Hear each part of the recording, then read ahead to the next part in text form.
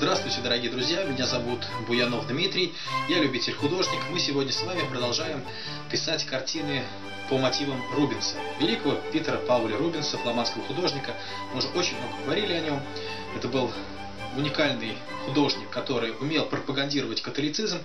Ну, мы этим не будем заниматься. Что касается религии, так это вообще у нас отдельный разговор.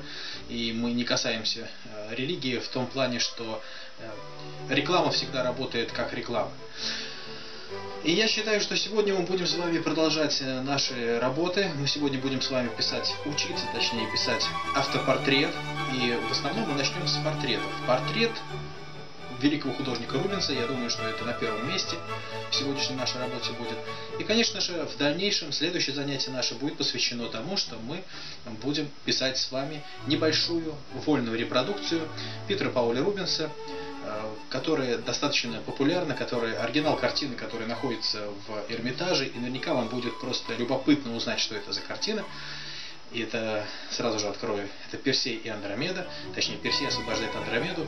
И мы вместе с вами будем писать небольшую репродукцию на небольшом формате, примерно формата А3, акриловыми красками. Вот сегодня учимся создавать штрихи и учимся создавать эскизы и расцвечивания.